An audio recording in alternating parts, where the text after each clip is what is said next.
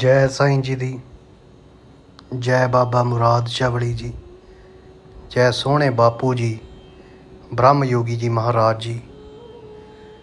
ਰੱਬ ਇੱਕ ਜੈ ਸਾਈਂ ਜੀ 786 ਐਸ ਏ ਅਫੀਸ਼ੀਅਲ ਚੈਨਲ ਦੇ ਉੱਤੇ ਤੁਹਾਡਾ ਸਵਾਗਤ ਹੈ, ਬਾਬਿਓ ਨਿੱਘਾ ਸਵਾਗਤ ਹੈ। ਜੇ ਚੈਨਲ ਤੇ ਪਹਿਲੀ ਵਾਰੀ ਆਏ ਆ ਤਾਂ ਸਬਸਕ੍ਰਾਈਬ ਕਰ ਲਓ ਤੇ ਬੈਲ ਆਈਕਨ ਨੂੰ ਜ਼ਰੂਰ ਦਬਾ ਲਓ ਤਾਂ ਕਿ ਤੁਹਾਨੂੰ ਆਉਣ ਵਾਲੀ ਵੀਡੀਓ ਦੀ ਜੋ ਅਪਡੇਟ ਆ ਉਹ ਮਿਲਦੀ ਰਹੇ ਬਾਬਾ ਜੀ।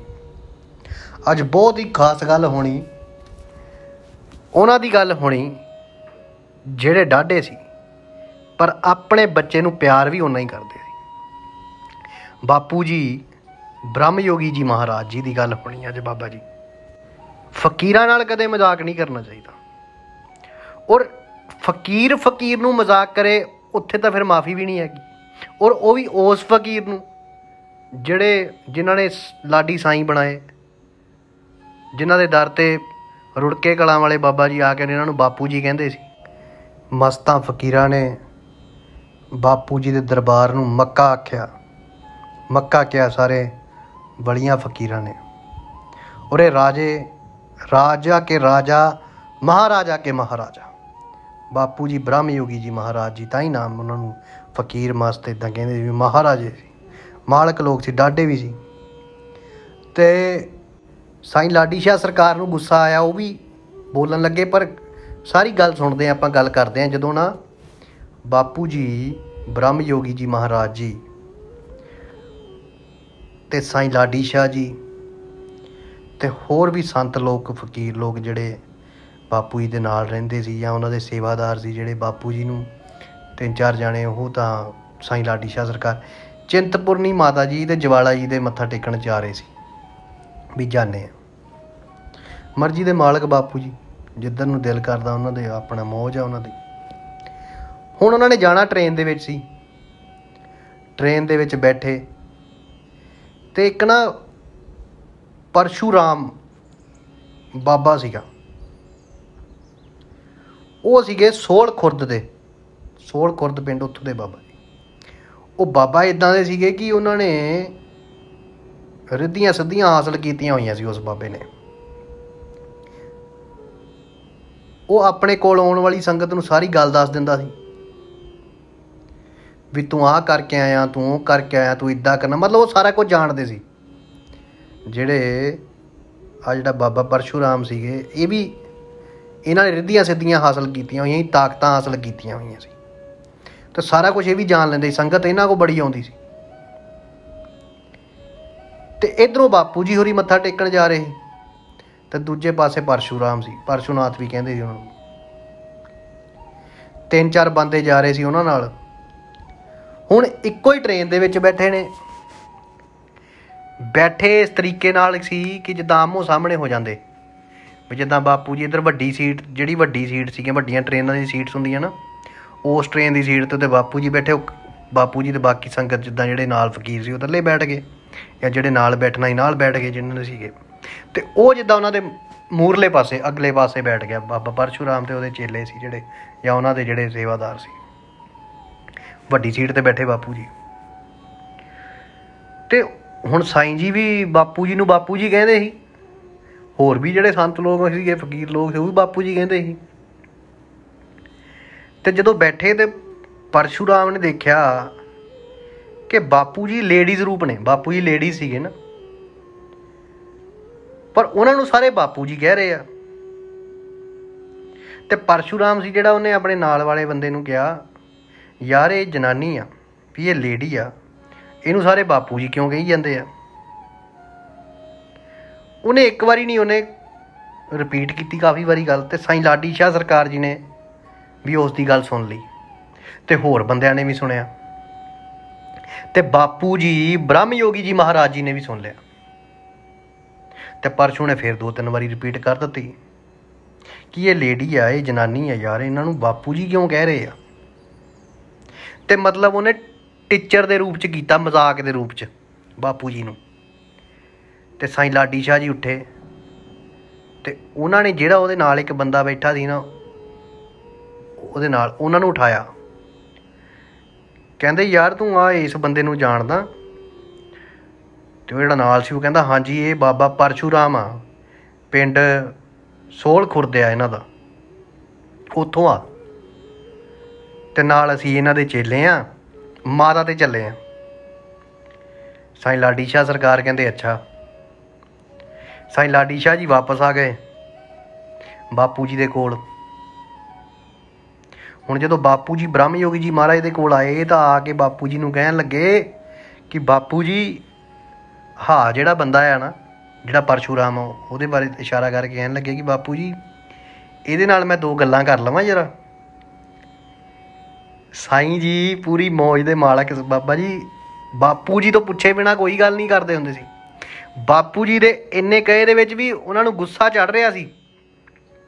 ਵੀ ਮੇਰੇ ਮੁਰਸ਼ਦ ਨੂੰ ਇਦਾਂ ਆਖਤਾ ਮੇਰੇ ਬਾਪੂ ਨੂੰ ਇਦਾਂ ਆਖਤਾ।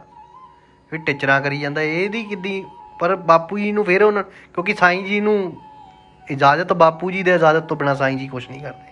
ਤਾਂ ਉਹਨਾਂ ਨੇ ਪੁੱਛਿਆ ਵੀ ਬਾਪੂ ਜੀ, ਮੈਂ ਇਹਦਾ ਦੋ ਗੱਲਾਂ ਕਰ ਲਵਾਂ।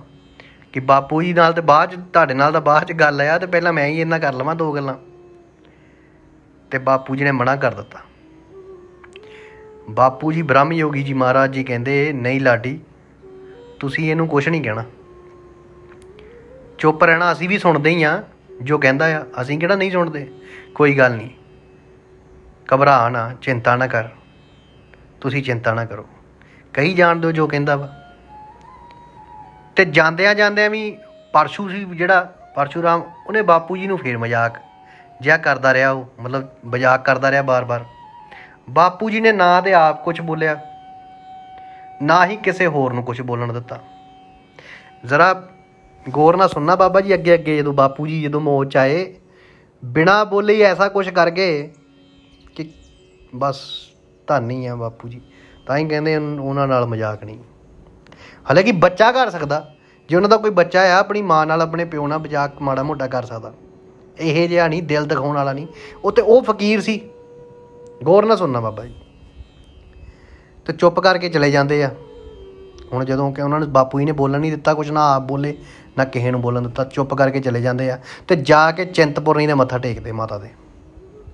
ਉਹ ਪਰਸ਼ੂਰਾਮ ਹੋਰੀ ਵੀ ਉਧਰ ਨੂੰ ਹੀ ਸੀਗੇ, ਸਾਰੇ ਬੰਦੇ ਆ ਗਏ। ਹੁਣ ਉੱਥੇ ਮਾਤਾ ਚਿੰਤਪੁਰਨੀ ਦੇ ਮੱਥਾ ਟੇਕਿਆ, ਉੱਥੋਂ ਫਿਰ ਇਹ ਜਵਾਲਾ ਜੀ ਦੇ ਗਏ। ਹੁਣ ਜਵਾਲਾ ਜੀ ਜਦੋਂ ਚੱਲ ਪਏ ਨਾ, ਉੱਥੇ ਜਾ ਕੇ ਜੋ ਸਾਰਿਆਂ ਨੇ ਮੱਥਾ ਟੇਕਿਆ। ਹੁਣ ਬਾਪੂ ਜੀ ਨੇ ਪਰਸ਼ੂ ਨਾਲ ਤੱਕ ਕੋਈ ਗੱਲ ਨਹੀਂ ਕੀਤੀ ਪਰਸ਼ੂਰਾਮ ਨਾਲ ਕੋਈ ਗੱਲ ਨਹੀਂ ਕੀਤੀ। ਬਾਪੂ ਜੀ ਨੇ ਇੰਨਾ ਇਗਨੋਰ ਕੀਤਾ ਵੀ ਐਸੇ ਸਬਰ ਦੇ ਮਾਲਕ ਕਿ ਰੱਖ ਲਿਆ ਗੱਲ ਬਸ। ਫਕੀਰ ਦੀ ਚੋਪੀ ਮਾੜੀ ਹੈ ਬਾਬਾ ਜੀ। ਉਹ ਕਹਿੰਦੇ ਨਾ ਜਦੋਂ ਚੁੱਪ ਕਰ ਗਏ ਤਾਂ ਸਮਝ ਲਿਓ ਵੀ ਤੁਸੀਂ ਨਿਗਾਹ 'ਚ ਆ ਗਏ ਆ। ਹਾਲਾਂਕਿ ਦਿਲ 'ਚ ਗੱਲ ਨਹੀਂ, ਉਹਨਾਂ ਨੇ ਮੂਹਰੇ ਕੱਢ ਦਿੰਦੇ ਆ। ਪਰ ਉਹ ਫਕੀਰ ਸੀ। ਬਖਸ਼ ਕਿਦਾਂ ਵੀ ਸਾਰੀ ਗੱਲ ਕਰਦੇ ਬਾਬਾ ਜੀ। ਹੁਣ ਪਰਸ਼ੂਰਾਮ ਨਾਲ ਉਹਨਾਂ ਨੇ ਕੋਈ ਗੱਲ ਨਹੀਂ ਕੀਤੀ। ਉਹਨਾਂ ਨੇ ਮਾਤਾ ਨਾਲ ਜੋ ਵੀ ਗੱਲ ਕਰਨੀ ਸੀ ਉੱਥੇ ਕਰਕੇ ਤੇ ਬਾਪੂ ਜੀ ਹੋਰੀ ਵਾਪਸ ਆ ਗਏ ਤੇ ਪਰਸ਼ੂਰਾਮ ਹੋਰੀ ਵਾਪਸ ਆ ਗਏ। ਇਧਰੋਂ ਜਿਹੜਾ ਪਰਸ਼ੂਰਾਮ ਸੀ, ਉਹ ਸੋਲ ਖੁਰਦ ਆਪਣੇ ਪਿੰਡ ਆ ਗਿਆ, ਆਪਣੇ ਡੇਰੇ ਆ ਗਿਆ। ਤੇ ਬਾਪੂ ਜੀ ਬ੍ਰਹਮ ਯੋਗੀ ਜੀ ਮਹਾਰਾਜ ਵੀ ਆਪਣੇ ਦਰਬਾਰ ਪਹੁੰਚ ਗਏ, ਆਪਣੇ ਉੱਥੇ ਡੇਰੇ ਪਹੁੰਚ ਕੇ ਵਾਪਸ ਆ ਗਏ। ਜਦੋਂ ਪਰਸ਼ੂ ਵਾਪਸ ਆਇਆ ਨਾ, ਤੇ ਉਹ ਬੜੀ, ਪਰਸ਼ੂ ਵੀ ਬਹੁਤ ਕਹਿੰਦੇ ਪਹੁੰਚੀ ਹੋਈ ਪਹੁੰਚੀ ਹੋਈ ਚੀਜ਼ ਸੀਗੀ, ਬੜੀ ਤਾਕਤਾਂ ਦਾ ਮਾਲਕ ਸੀ, ਉਹਨੂੰ ਸਾਰਾ ਕੁਝ ਪਤਾ ਹੁੰਦਾ ਸੀ। ਔਰ ਪੁਜਾਰੀ ਜਿਹੜੀ ਹੁੰਦੀ ਨਾ, ਪੁਜਾਰੀ ਪੈਸੇ ਜਿਹੜੇ ਲੈਂਦੇ ਫਕੀਰ ਕੰਮ ਤੋਂ ਬਾਅਦ, ਉਹ ਪੁਜਾਰੀ ਕਿਹਾ ਜਾਂਦਾ ਉਹਨੂੰ। ਉਹ ਪੁਜਾਰੀ ਜਿਹੜੀ ਹੁੰਦੀ ਨਾ, ਪੁਜਾਰੀ ਮੰਗ ਕੇ ਲੈਂਦਾ ਹੁੰਦਾ ਸੀ ਉਹ, ਕਿ ਇੰਨੇ ਪੈਸੇ ਲੱਗਣੇ ਆ, ਕੰਮ ਮੈਂ ਤੁਹਾਡਾ ਕਰ ਦੂੰਗਾ। ਮਤਲਬ ਉਹ ਪੈਸੇ ਵੀ ਮੰਗਦਾ ਹੁੰਦਾ ਸੀ। ਪੁਜਾਰੀ ਜਿਹੜੀ, ਪੁਜਾਰੀ ਕੀ ਹੁੰਦੀ ਜੇ ਮੰਨ ਲਓ ਕਿਸੇ ਨੇ ਕਿਸੇ ਨੂੰ ਕੋਈ ਕੰਮ ਕਿਹਾ, ਕੀਤਾ ਵਾ ਕਿਸੇ ਦਾ, ਜੇ ਉਹਨੇ 100 ਰੁਪਏ ਦਾ ਕੀਤਾ ਤਾਂ ਅਗਲੇ ਨੇ 101 ਰੁਪਇਆ ਲੈ ਕੇ ਕੰਮ ਕਰਨਾ ਤੁਹਾਡਾ ਹੈ ਨਾ ਉਹ ਪੁਜਾਰੀ। ਉਹ ਪੁਜਾਰੀ ਆ, ਜਿੱਦਾਂ ਵੀ ਜੋ ਵੀ ਮਾਲਕ ਦੀ ਹੋਣੀ ਉਹ ਪੁਜਾਰੀ ਹੋ ਗਈ ਪਰ ਉਹ ਜਿਹੜਾ ਸੀਗਾ, ਉਹ ਪੈਸੇ ਵੀ ਉਹਨੇ ਕਹਿ ਕੇ ਲੈਣੇ ਵੀ ਮੈਂ ਇੰਨੇ ਰੁਪਏ ਲੈਣੇ, ਫੇਰ ਗੱਲ ਕਰਨਾ। ਨਾ ਉਹਨੇ ਕੰਮ ਉਹ ਤੋਂ ਬਿਨਾ ਉਹਨੇ ਨਾ ਕੰਮ ਕਰਨਾ, ਨਾ ਕਿਸੇ ਨੂੰ ਕਰਨ ਦੇਣਾ। ਇਦਾਂ ਦਾ ਸੀ ਉਹ, ਪਰਸ਼ੂਰਾਮ ਜਿਹੜਾ ਸੀ। ਹੁਣ ਜਦੋਂ ਵਾਪਸ ਸੋਲ ਖੁਰਦ ਆਪਣੇ ਡੇਰੇ ਆਇਆ, ਤਾਂ ਜਿੱਦਾਂ ਉਹਦੇ ਕੋਲ ਸੰਗਤ ਆਉਂਦੀ ਸੀ ਇਦਾਂ ਹੀ ਉਹਦੇ ਕੋਲ ਸੰਗਤ ਆਈ। ਪਹਿਲਾਂ ਜਦੋਂ ਸੀਗਾ ਤੇ ਪਰਸ਼ੂਰਾਮ ਕੋਲ ਜਦੋਂ ਸੰਗਤ ਨੇ ਨਾ, ਬਾਬਾ ਪਰਸ਼ੂਰਾਮ ਦੀ ਜਿਹੜਾ, ਉਹਦੇ ਕੋਲ ਸੰਗਤ ਨੇ ਇੱਕ ਸਵਾਲ ਕਰਨਾ ਤੇ ਪਰਸ਼ੂਰਾਮ ਨੇ 10-10 ਜਵਾਬ ਦੇਣੇ ਉਸ ਚੀਜ਼ ਦੇ। ਮਤਲਬ ਉਹਨਾਂ ਨੂੰ ਸਭ ਕੁਝ ਹੀ ਪਤਾ ਹੁੰਦਾ ਸੀ ਉਹਨੂੰ ਕਿ ਇਹ ਕਿੱਥੋਂ ਆਇਆ, ਕੀ ਕਰਕੇ ਆਇਆ, ਕਿਹਦੇ ਨਾਲ ਇਹਨੇ ਕੀਤਾ, ਅੱਗੇ ਕੀ ਕਰਨਾ, ਸਾਰਾ ਕੁਝ ਉਹਨੂੰ ਪਤਾ ਹੁੰਦਾ ਹੈ ਉਹਦੇ ਕੋਲ ਐਸੀਆਂ ਰਿੱਧੀਆਂ ਸਿੱਧੀਆਂ। ਸੀ ਬਾਬੇ ਦੀ ਗੱਲਬਾਤ ਪੂਰੀ ਸੀ ਪਰਸ਼ੂਰਾਮ ਦੀ ਵੀ। ਤੇ ਉਹ ਜਦੋਂ ਵਾਪਸ ਆਇਆ, ਹੁਣ ਆਪਣੇ ਆਸਨ ਤੇ ਬੈਠਾ ਆ, ਸੰਗਤ ਆਈ। ਹੁਣ ਉਹ ਵੀ ਬਾਬਾ ਸੀ, ਹਸਤੀ ਸੀ। ਉਹਨੇ ਰਿੱਧੀਆਂ ਸਿੱਧੀਆਂ ਵਾਲਾ ਸੀਗਾ, ਇਸ਼ਕ ਵਾਲਾ ਨਹੀਂ ਸੀਗਾ, ਇਸ਼ਕ ਵਾਲੇ ਤਾਂ ਮਹਾਰਾਜ ਹੋਰੀ ਸੀਗੇ। ਤਾਂ ਜਦੋਂ ਉਸ ਨੂੰ ਸੰਗਤ ਨੇ ਸਵਾਲ ਕੀਤਾ ਅੱਗੇ ਤੇ ਸਭ ਕੁਝ ਪਤਾ ਹੁੰਦਾ ਸੀ ਤੇ ਜਿਹੜੀਆਂ ਰਿੱਧੀਆਂ ਸਿੱਧੀਆਂ ਤੇ ਮਾਣ ਕਰਦਾ ਹੁੰਦਾ ਸੀ ਨਾ, ਪਰਸ਼ੂਰਾਮ ਨੇ ਬੜੀ ਕੋਸ਼ਿਸ਼ ਕੀਤੀ, ਪਰ ਕੋਈ ਚੱਲੇ ਨਾ, ਕੋਈ ਵੀ ਰਿੱਧੀ ਸਿੱਧੀ ਉਸ ਦੀ ਕੋਈ ਵੀ ਤਾਕਤ ਉਸ ਦੇ ਕੰਮ ਨਾ ਆਵੇ, ਉਹਦੇ ਨੇੜੇ ਹੀ ਨਾ ਆਵੇ। ਉਹਨੇ ਬੜੇ ਮੰਤਰ ਪੜੇ ਬੜਾ ਕੁਝ ਕੀਤਾ, ਆਸਣ ਤੇ ਬੈਠਾ, ਸਾਰਾ ਕੁਝ ਜਾਣਦਾ ਹੁੰਦਾ ਸੀ। ਹੁਣ ਉਹਨੂੰ ਕੋਈ ਸਮਝ ਨਹੀਂ ਲੱਗੀ ਉਹਦੀ ਕੋਈ ਵੀ ਰਿੱਧੀ ਸਿੱਧੀ ਉਹਦੇ ਕੰਮ ਨਾ ਆਵੇ। ਗੌਰ ਫਰਮਾਣਾ ਬਾਬਾ ਜੀ ਬਾਪੂ ਜੀ ਚੁੱਪ 'ਚ ਹੀ ਸਾਰਾ ਕੁਝ ਹੈ ਨਾ? ਧਿਆਨ ਨਾਲ ਸੁਣਨਾ।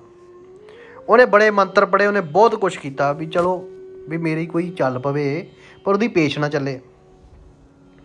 ਤੇ ਉਹ ਸੰਗਤ ਨੂੰ ਕਹਿਣ ਲੱਗਾ ਵੀ ਤੁਸੀਂ ਅੱਜ ਨਹੀਂ ਫੇਰ ਤੁਸੀਂ ਆਇਓ ਕਦੇ। ਕਿ ਅੱਜ ਕੋਈ ਵੀ ਪਹਿਰਾ ਨਹੀਂ ਆ ਰਿਹਾ, ਕੋਈ ਵੀ ਗੱਲ ਨਹੀਂ ਬਣ ਰਹੀ, ਕੋਈ ਵੀ ਰਿੱਧੀ ਸਿੱਧੀ ਮੇਰਾ ਕੰਮ ਨਹੀਂ ਕਰ ਰਹੀ। ਮਤਲਬ ਉਹਨੇ ਇਹ ਗੱਲ ਤੇ ਉਹਨਾਂ ਨੂੰ ਨਹੀਂ ਦੱਸੀ ਵੀ ਰਿੱਧੀ ਸਿੱਧੀ ਕੰਮ ਨਹੀਂ ਕਰ ਲਈ ਪਰ ਇਹ ਉਹਨੂੰ ਆਪ ਪਤਾ ਸੀ ਵੀ ਮੇਰਾ ਕੋਈ ਵੀ ਕੰਮ ਚੱਲ ਨਹੀਂ ਰਿਹਾ। ਕਾਫੀ ਦੇਰ ਇਸੇ ਤਰ੍ਹਾਂ ਹੀ ਚੱਲਦਾ ਰਿਹਾ। ਉਸ ਦੇ ਕੋਲ ਜਿਹੜੇ ਪਹਿਰੇ ਪੂਰੇ ਸੀ ਜਾਂ ਜਿਹੜੀਆਂ ਤਾਕਤਾਂ ਸੀ ਉਹ ਸਾਰੀਆਂ ਉਹਨੋਂ ਹਟ ਗਈਆਂ ਬਾਬਾ ਜੀ। ਸਾਰਾ ਕੁਝ ਹੀ ਖਤਮ ਹੋ ਗਿਆ। ਬਿਲਕੁਲ ਸਾਫ਼ ਹੋ ਗਿਆ। ਮਤਲਬ ਕਿ ਕੁਝ ਵੀ ਹੱਥ ਪੱਲੇ ਨਾ ਰਿਹਾ। ਜਦੋਂ ਪਰਸ਼ੂਰਾਮ ਨੇ ਵੇਖਿਆ ਕਿ ਮੇਰੇ ਕੋਲ ਗੱਲ ਨਹੀਂ ਬਣਦੀ ਪਈ, ਫਿਰ ਉਸ ਦੇ ਕੋਲ ਸੰਗਤ ਜਿਹੜੀ ਸੀਗੀ ਨਾ ਉਹ ਉਹਨੋਂ ਹਟ ਗਈ ਬਾਬਾ ਜੀ। ਉਹ ਜਿਹੜੇ ਮਰੀ, ਫਕੀਰ ਦੇ ਕੋਲ ਜਿਹੜੇ ਮਰੀਦ ਆਉਂਦੇ ਸੀ ਨਾ, ਜਿਹੜੇ ਉਹਦੇ ਕੋਲ ਬਾਬੇ ਪਰਸ਼ੂਰਾਮ ਕੋਲ ਲੋਕ ਆਉਂਦੇ ਸੀ ਨਾ, ਉਹ ਹਟ ਗਏ। ਉਹ ਹੁਣ ਉਹਦਾ ਡੇਰਾ ਵੀ ਬੰਦ ਹੋ ਗਿਆ, ਉਹ ਜਿਹੜਾ ਰਿੱਧੀਆਂ ਸਿੱਧੀਆਂ ਵਾਲਾ ਕੰਮ ਸੀ, ਉਹ ਵੀ ਬੰਦ ਹੋ ਗਿਆ। ਹੁਣ ਉੱਥੋਂ ਹੀ ਪੈਸਾ ਕਮਾਉਂਦਾ ਸੀ ਉਹ। ਰਿੱਧੀ ਸਿੱਧੀ ਨਾਲ ਹੀ ਪੈਸਾ ਕਮਾਉਂਦਾ ਸੀ ਨਾ। ਉਹ ਵੀ ਬੰਦ ਹੋ ਗਿਆ। ਉਹਨੇ ਕੀ ਕੀਤਾ ਵੀ ਹੁਣ ਕੰਮ ਤਾਂ ਕੋਈ ਨਾ ਕੋਈ ਕਰਨਾ ਹੀ। ਉਹਨੇ ਆਪਣਾ ਕੰਮ ਚਲਾਉਣ ਵਾਸਤੇ ਨਾ ਨਕੋਦਰ ਸ਼ਹਿਰ ਦੇ ਵਿੱਚ, ਨਕੋਦਰ। ਸਾਈਕਲਾਂ ਦੀ ਦੁਕਾਨ ਵਾਲੀ ਜਿਹੜੀਆਂ ਸਾਈਕਲਾਂ ਵੇਚਦਾ ਸੀ, ਨਵੇਂ ਸਾਈਕਲ ਵੇਚਦਾ ਸੀ ਉਹ। ਕਿਉਂਕਿ ਪੈਸਾ ਤਾਂ ਪਹਿਲਾਂ ਉਹਨੇ ਬਥੇਰਾ ਵਟਿਆ ਸੀ।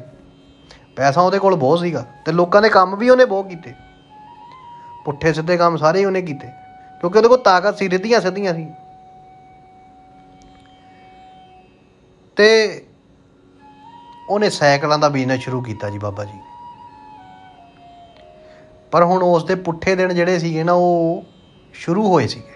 ਐਸੇ ਪੁੱਠੇ ਦਿਨ ਸ਼ੁਰੂ ਹੋਏ ਸੀ ਕਿ ਉਹਦਾ ਸਮਾਨ ਜਿਹੜਾ ਸੀ ਨਾ ਉਹ ਆਪਣਾ ਜਿਹੜੀਆਂ ਸਾਈਕਲਾਂ ਸੀ ਨਾ ਲੋਕੀ ਕਿਸ਼ਤਾਂ ਤੇ ਲੈ ਜਾਂਦੇ ਸੀ। ਕਿਸ਼ਤ ਕਿਸ਼ਤ ਹੁੰਦੀ ਸੀ ਉਹਨਾਂ ਟਾਈਮਾਂ ਦੇ ਵਿੱਚ, ਉਹਨਾਂ ਵਕਤਾਂ ਦੇ ਵਿੱਚ। ਉਹਨਾਂ ਨੇ ਨਾ ਕਿਸ਼ਤ ਰੱਖੀ ਹੁੰਦੀ। ਹੁਣ ਲੋਕੀ ਰਹਿ ਜਾਂਦੇ ਤੇ ਕਿਸ਼ਤ ਕੋਈ ਦੇ ਕੇ ਨਹੀਂ ਜਾਂਦਾ।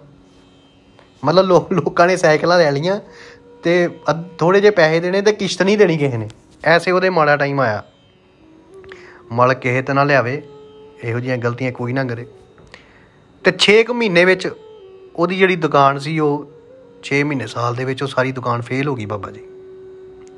ਹੁਣ ਉਹ ਕਿੱਥੇ ਨਵੀਆਂ ਸਾਈਕਲਾਂ ਵੇਚਦਾ ਸੀ, ਉਹਨੇ ਨਾ ਸਾਈਕਲਾਂ ਨੂੰ ਪੈਂਚਰ ਲਾਉਣ ਦੀ ਦੁਕਾਨ ਖੋਲ ਲਈ ਫਿਰ।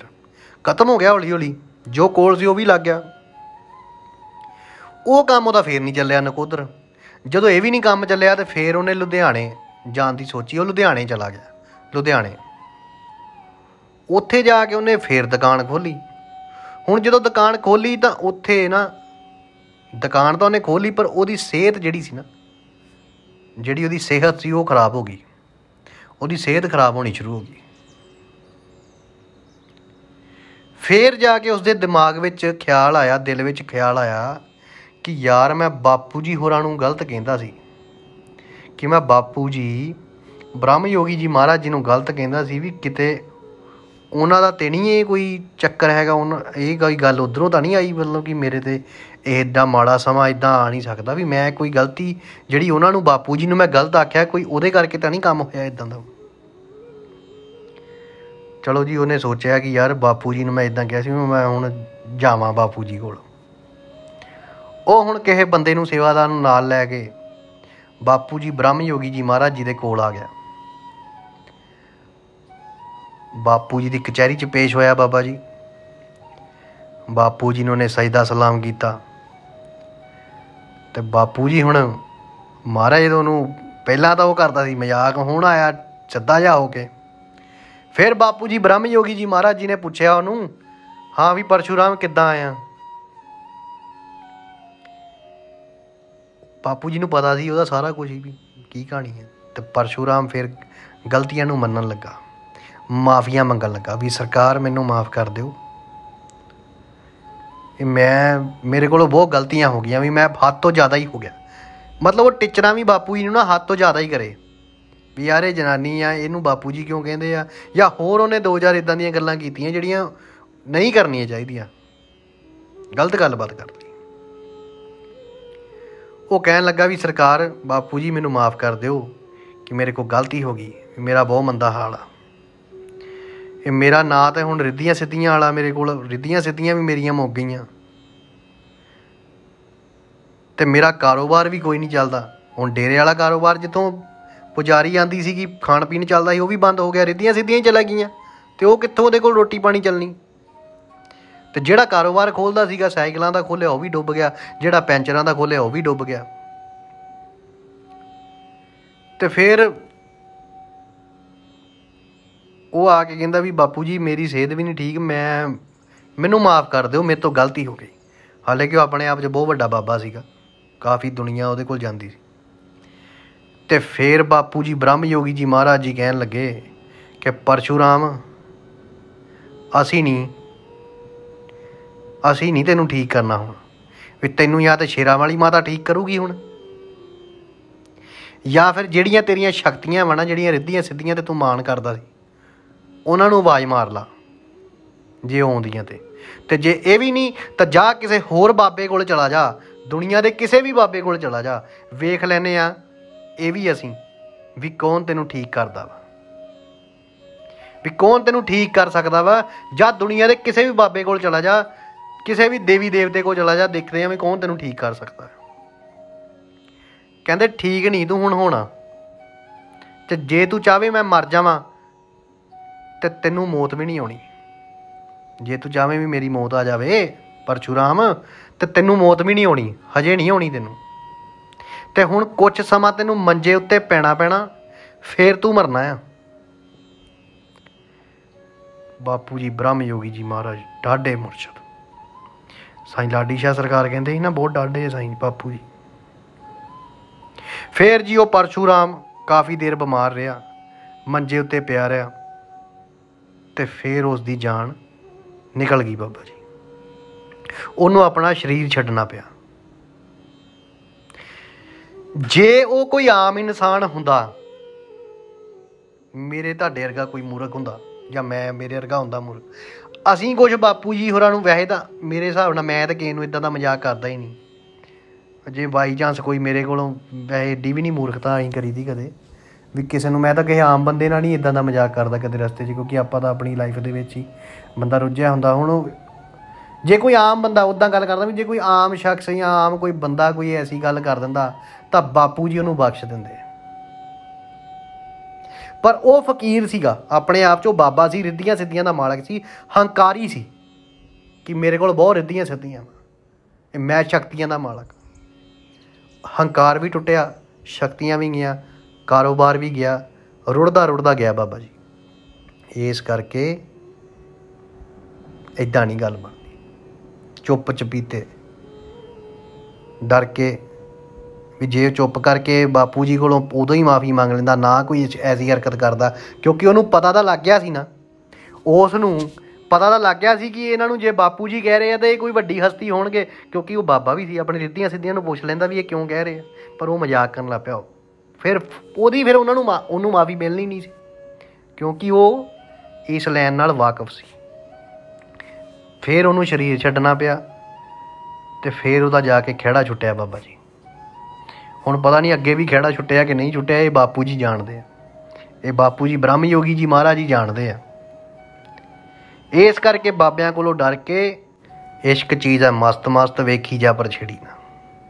ਸੋ ਬਾਪੂ ਜੀ ਐਸੀ ਹਸਤੀ ਹੋਏ ਬਾਬਾ ਜੀ, ਜਿਹੜਾ ਉਹਨਾਂ ਨੂੰ ਪਿਆਰ ਕਰਦਾ, ਜਿਹਨੂੰ ਉਹ ਪਿਆਰ ਕਰਦੇ।